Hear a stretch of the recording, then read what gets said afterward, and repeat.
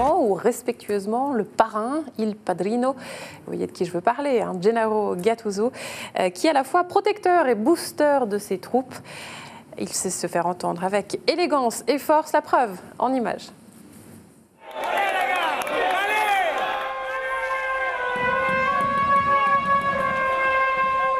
L'histoire commence par une victoire en coupe, arrachée dans un stade vétuste. Gennaro Gattuso est devenu entraîneur et sa première semaine à la tête de Sion s'est terminée par une défaite au Letzigrund. Concernant ce résultat 3-1, les responsabilités m'appartiennent et je les assume sans aucun problème.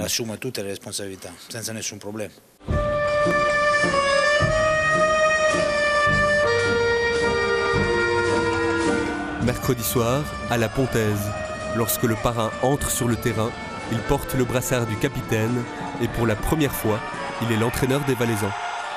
À force de combativité plutôt que de beau jeu, Sion se qualifie pour les demi-finales de sa coupe. Il y a encore tellement à travailler, il faut du temps. Mais la passion, l'envie sont là. Et ce que nous avons dit, moi et mes collègues, au président, c'était juste ça, de revenir à Martigny avec beaucoup d'envie et de passion et de s'améliorer encore jour après jour. Le banni Victor Munoz observe les débuts de Gennaro Gattuso depuis les tribunes le parrain est le cinquième entraîneur nommé par Christian Constantin cette saison. Gattuso est mon capitaine. Gattuso est un garçon qui a, son charisme, qui a sa force, qui croit à les mêmes valeurs que moi, la passion, le travail, l'engagement dans, dans, ce qu'on fait. Aujourd'hui, on peut pas, on peut pas. Aujourd'hui, j'ai demandé de faire un travail leader. C'est ce travail-là qu'il a fait. Alors ce travail-là, il l'a bien, bien fait, si ce n'est plus.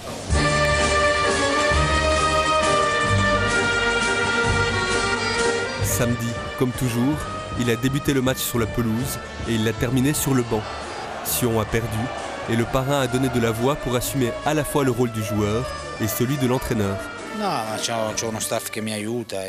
Non, il y a un staff qui m'aide et ce sont des garçons formidables. Mais voilà, maintenant c'est comme ça et on ne peut pas faire autrement.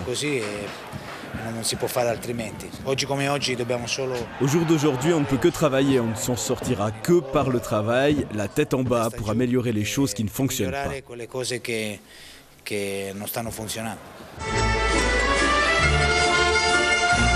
Gennaro Gattuso prend goût à son nouveau rôle. Il a toujours dit qu'il avait le projet de devenir entraîneur et il a toujours dit que Sion était la pire adresse pour une première expérience. Il dirigera encore le groupe pour au moins deux matchs et on se demande si le parrain sera le premier à durer à la tête de la famille valaisanne.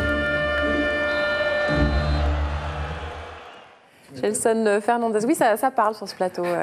C'est un sujet qui, qui, passionne. Gelson Fernandez, en regardant vite fait sur Wikipédia, je me suis rendu compte que vous parlez sept langues, dont l'italien, l'anglais, le portugais, l'allemand. C'est pas la force des choses, un petit peu. Enfin, c'est quand même pas mal. Est-ce que c'est vous aujourd'hui qui êtes le, traducteur officiel de, de Gennaro Gattuso sur le terrain avec toutes ces langues? Avant, c'était Didier Crétenant. Je pense que là, vous le battez euh, à plat de couture. non, il me demande de temps en temps, mais, euh, mais je crois que lui, il n'a pas trop besoin de, traduction parce que son langage corporel déjà te fait, te fait sentir suffisamment de choses. Mais une chose est sûre, je ne sais pas quelle direction il va prendre dans sa, dans sa future carrière, mais euh, une chose est sûre, c'est qu'il sera un grand entraîneur. Ça, c'est une certitude.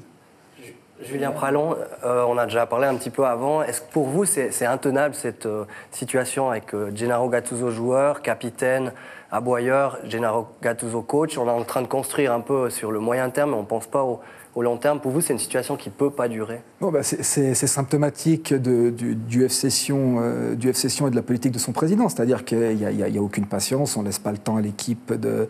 Enfin, on, évoquait les changements apportés par Victor Munoz euh, cet hiver, mais en même temps, euh, c'est quoi, 4, 5 entraîneurs cette année?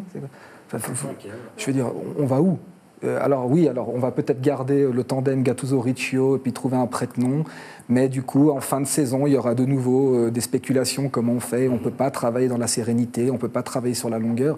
À un moment donné, c'est pas viable. Mhm. Euh, et, par, rapport à, par rapport à Gennaro Gattuso, je pense que cette double casquette n'est pas du tout n'est pas du tout viable pour lui. Euh, pour la simple et bonne raison, ça n'engage que moi, que je trouve que la simple casquette de joueur est déjà trop grosse pour lui.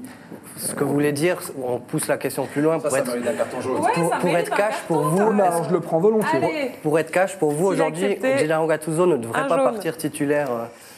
Euh, Mais il n'a il, a rien à faire dans une équipe de Super League titulaire en l'état actuel des choses. Si vous me, dites, si vous me, si vous me demandez si Gennaro Gattuso en 2006 devait être titulaire au FC Sion, il n'y a pas de question. Mais là, maintenant, ce que je vois, c'est un joueur à la riche histoire, au grand palmarès, qui physiquement n'est pas à niveau. Mais par rapport à tout ce qu'il amène en dehors, rien oui, si on sort que de l'aspect footballistique, alors ce oui, qu'il amène. oui, oui, mais alors qu'il reste sur le banc. Qui reste sur le banc. Enfin, je veux dire, on, avait cette boutade qui circulait euh, à l'époque de Pascal Z, ancien gardien de l'équipe nationale, quand il était à la Neuchâtel avec Samax. On disait, euh, il est très important dans le vestiaire. C'est dommage qu'il en sorte. Ben, là, j'ai presque envie de dire un peu la même chose, parce que moi, Gattuso, alors euh, je sais que mon, voisin n'est pas d'accord, mais